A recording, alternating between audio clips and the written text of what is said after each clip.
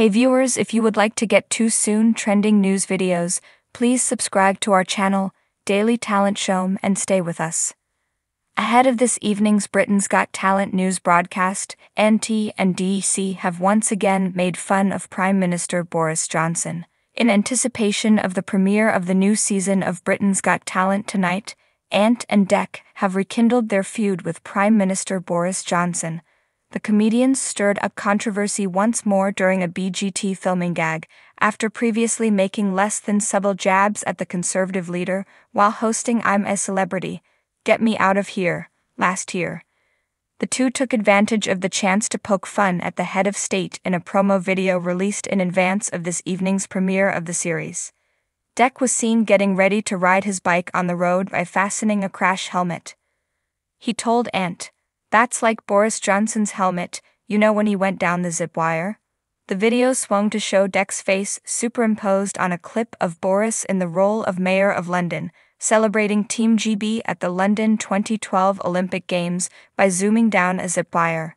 Dec kept making fun of his friend, telling Ant, and I thought I would look the idiot in this scene. It comes after the pair attacked the Prime Minister on I'm a Celebrity. Get me out of here. Last year while presenting. The two couldn't help but make fun of the Prime Minister for giving cushy jobs to his mates, and later regaled the audience with another jab at Boris regarding nepotism in the Conservative Party. The public was informed by Ant at the beginning of the show. Big news. You've elected a new camp leader. Dec questioned, Wow, exciting stuff but what exactly does the leader do?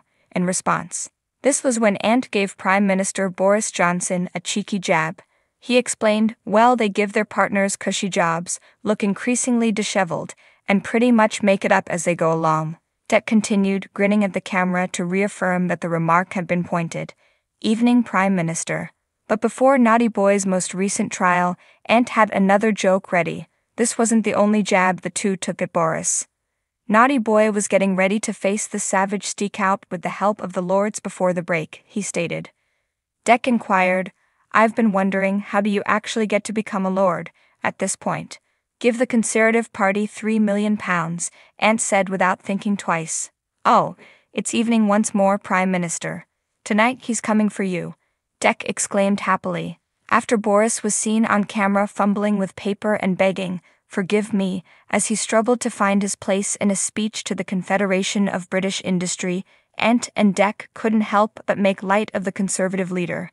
Dec started talking about the Victoria sponge cake that the blue team had won for their camp during the episode, but he didn't hold back when the PM was questioned about where they got the cake.